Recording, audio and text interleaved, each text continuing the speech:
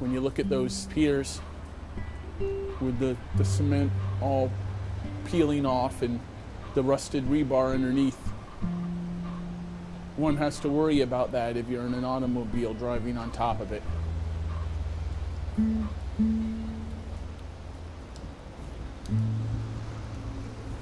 I have a degree in botany. I'm a botanist. Most of what I studied in school and then in, in various jobs afterwards was terrestrial uh, ecology and plant succession, and that's that, those were my interest. And that was off and on, on again. In between, I would do some woodworking, and somehow I started doing woodworking, and I never went back to botany or the biological sciences, I should say. I started painting furniture. I wanted to make functional art, stuff that you would use, and I moved on from there to painting on wood. And I continued to work with wood, and you know, one thing led to another, and I started working on canvases. All of a sudden, you could go out and buy a canvas, and there you had your blank slate and then you could do the artwork. And it was a whole new world to me when I discovered that. I was born in Providence. I went to a bunch of different schools. I took a bunch of art courses, and I always did really well in the classes. When I was in fifth grade and I was going to Moses Brown School, there was a coil pot on the top shelf, and I was set on making a bigger coil pot. And this was the result of it. It has my initials and then it has 5A. This was one of my first big art projects. And so I've kept it all these years. But it never really occurred to me to go to art school. I was living in the valley section of Providence and they were starting to tear the buildings down and there were empty buildings around.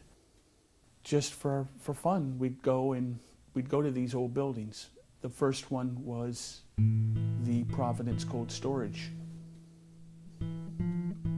On top of the Providence Cold Storage building, there was um, there was a sign. Someone went to the trouble of making each letter, and it said Providence Cold Storage. And one day I went up there, and we were just exploring. Then I went home that night, and I realized that I just had to have the letters to paint. I got some friends together and I took the Providence. And what I did is I went around and took photographs of the different architectural details, these little nuances, the shadows, the masonry work, and that's what I painted on each letter. I developed a passion for the old buildings. It was something that fascinated me. The old architecture, the 12 foot ceilings, the big windows, and that was the beginning of how I developed to become a painter. I had been dabbling with doing little paintings, nothing, nothing fancy. The letters, that was the bridge that took me from painting on wood to painting on canvases. And from then I said, well, I want to kind of do a series of paintings that capture the building as a whole in reality, it just sort of happened. There wasn't a lot of thought put into, well, this is what I'm going to do next. These buildings were, well, we watched a few of them get torn down. More were getting torn down every year. And that's where I started looking at it as a way of documenting it. It's more than drawing a flower, you know, before it dies. It's, it's not that kind of documentation. It's a very selfish thing because I want to capture that for myself. Once I painted the building, there was a finality to, to it. It was a way of coming to terms with the fact that they were being destroyed. I could let the building go. And plus it was it was enjoyable to paint them because it meant going out and and doing drawings and exploring.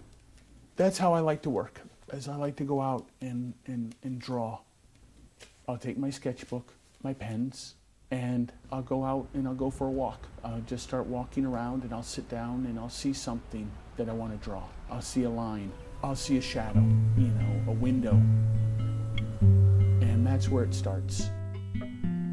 My sketchbooks. They're, they're, they're probably the more, most valuable thing that I have.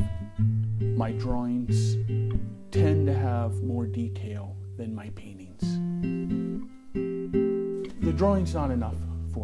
I'll need to explore more on it. I'll need to, I'll need to complete the thought, and that's where the paintings come in.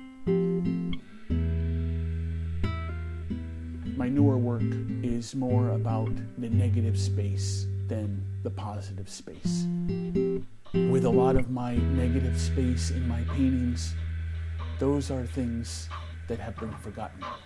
Sort of a reminder of what was there. A small series I'm working on right now is the old interstate. It's gone by the wayside. They're, they're tearing it down. Once I knew that they were going to tear down the interstate that runs through the city, I developed more of an appreciation for it.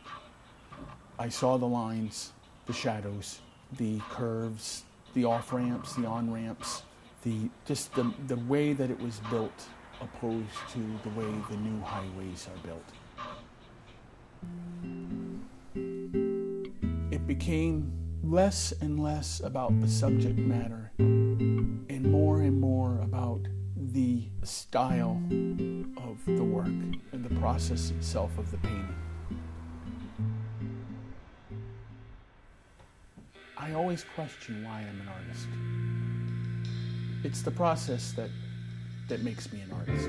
If I'm working in my studio and I'm actually painting, or if I'm out drawing, that's the closest I feel to being an artist. When I'm making the decisions of what gets remembered and what gets forgotten. They're all good decisions.